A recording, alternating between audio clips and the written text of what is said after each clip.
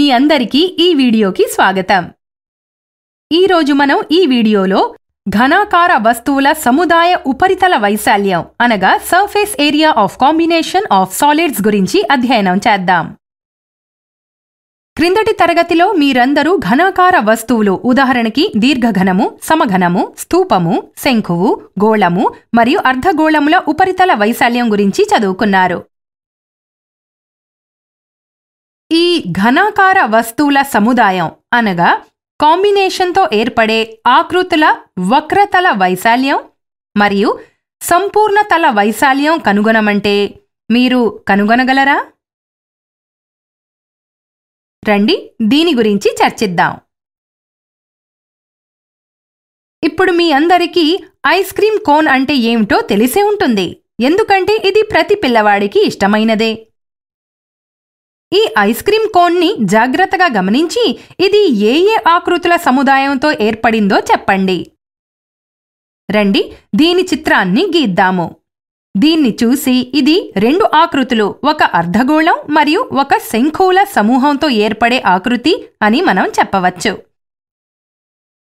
ఇక్కడ ice cream cone యొక్క పై భాగం ఒక అర్ధగోళం మరియు కింది భాగం ఒక శంఖువు.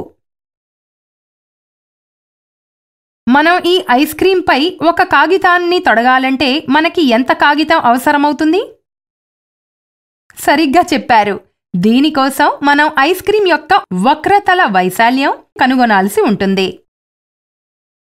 మనం రెండు లేదా రెండు కంటే ఎక్కువ ఆకృతుల సమూహంతో ఏర్పడే ఆకృతుల వక్రతల వైశాల్యం అనగా కర్వ్డ్ సర్ఫేస్ ఏరియా కనుగొనాలి.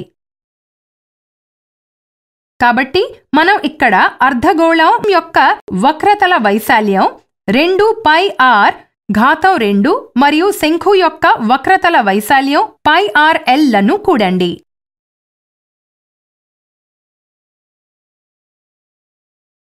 మనకి ఐస్ క్రీమ్ కోన్ యొక్క వక్రతల వైశాల్యం పై ఆర్ ఇంటూ రెండు ఆర్ ప్లస్ ఎల్ లభిస్తుంది.